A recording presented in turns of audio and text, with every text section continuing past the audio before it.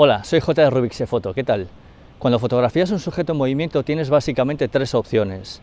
Si dejas la cámara fija y empleas una velocidad de obturación rápida, el movimiento se congela.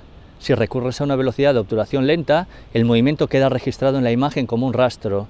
La tercera opción es mover tu cámara a medida que se mueve el objeto por delante de ti y hacer lo que se llama un barrido. De esa forma es el fondo el que da sensación de movimiento.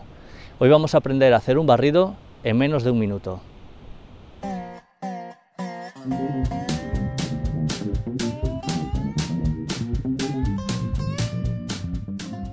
Se trata de sugerir movimiento, por tanto ajusta tu cámara en modo prioridad al tiempo. Comienza con un tiempo de exposición relativamente largo, 1.30 de segundo o similar. A partir de ahí puedes hacer ajustes.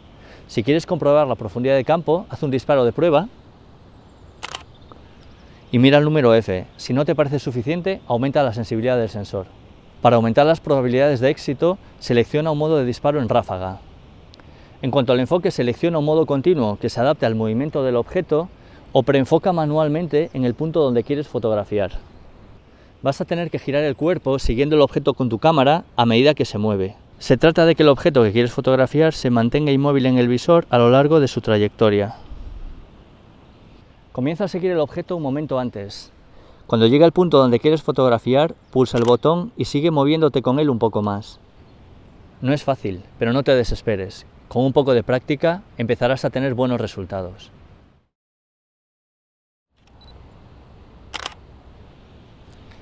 Esto es todo. Como ves, la clave consiste en escoger una velocidad lenta en tu cámara, comenzar a seguir el objeto antes de que llegue a tu altura, manteniéndolo siempre en el centro del visor, disparar y seguir moviéndote con él todavía un poco más.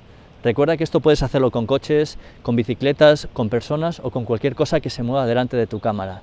Espero que el vídeo te haya gustado. Recuerda que tienes muchos otros con otros formatos en el canal de YouTube. Nada más. Si te ha gustado, suscríbete.